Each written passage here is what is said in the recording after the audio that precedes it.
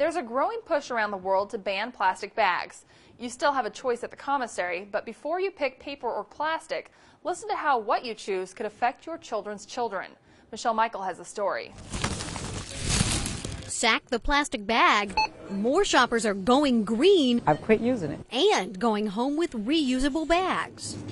Makes sense to have this instead of taking all those plastic bags home. The Defense Commissary Agency Europe hands out some 50 million plastic bags every year.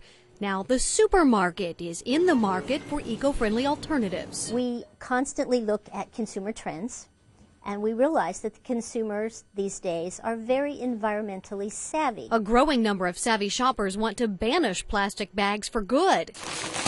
That's because a plastic bag like this, it's not biodegradable. If I were to leave this bag here as litter, you can find traces of it for thousands of years, and that's why Earth lovers are saying BYOB, as in, bring your own bag. I got kids, you know, and I'm trying to teach grandkids, and I'm trying to teach them that our environment is important to them.